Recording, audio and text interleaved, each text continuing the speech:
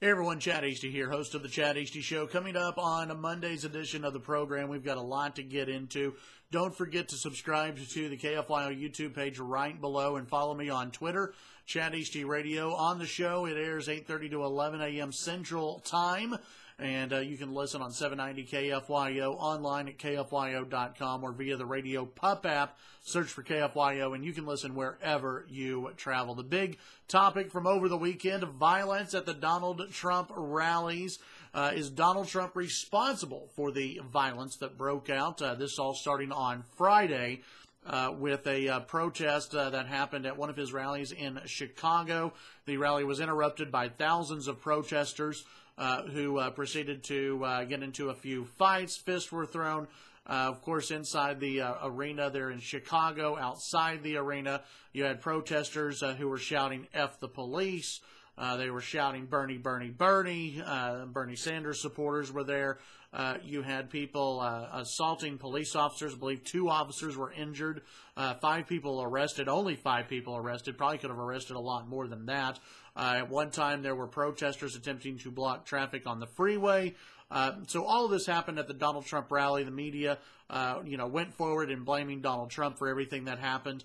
Uh, then the next day in Dayton, Ohio, uh, you had a guy who charged the stage, almost got to Donald Trump, if not uh, got to his, you know, was able to grab his leg possibly, but he got very close to Donald Trump before the Secret Service put the guy down on his face in the cement, which was always uh, good to see. How stupid do you have to be to try and do uh, that to a presidential candidate? Uh, if you're uh, that stupid, well, you deserve the beating that follows uh, from the Secret Service. Uh, so is the big question that and the big topic that's been been going on and the big discussion point that's been going on since the violence and since all the protests at the Donald Trump rallies is Donald Trump responsible? Well, in some ways, yes, because he's used divisive language. He's told crowds, "Oh, I wish you could punch the protesters in the face." Uh, he did on Sunday say that uh, his legal team was looking into paying uh, the legal fees for that 78 year old crank uh, who was in the stands uh, at a Trump rally last week, who uh, sucker punched a, tr- a protester. I mean, that's a shame. Trump is encouraging this in a way.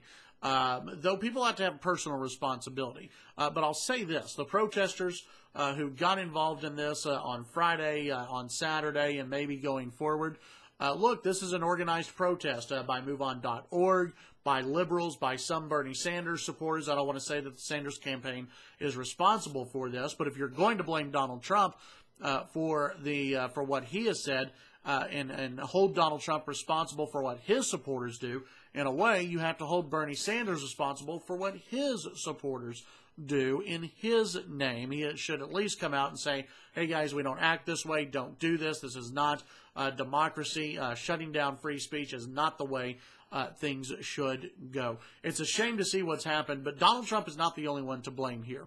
Uh, this goes back years. Uh, you look at the Obama administration. The Obama administration has been much more divisive than Donald Trump. Uh, you go back and you look at the Black Lives Matter protests. They get upset at you if you say all lives matter. That's divisive. You look at uh, things that have happened uh, in the media lately, where uh, going back a couple of years, where you've had protests in the streets.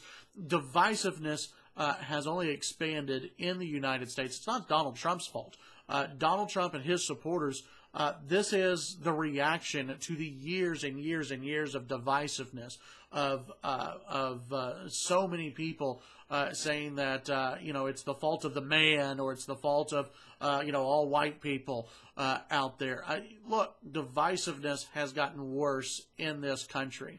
Uh, Donald Trump isn't helping things, but solely blaming Trump, in my opinion, is just plain ignorance uh, out there. Uh, you have to blame some of these other groups that their sole mission is to disrupt and shut down free speech. It's the wrong thing to do. I have no problem with people protesting outside of arenas uh, or anything like that, but to shut down free speech is ignorance and it's very dangerous for this country. The shameful thing is, going forward, we're going to see more of this.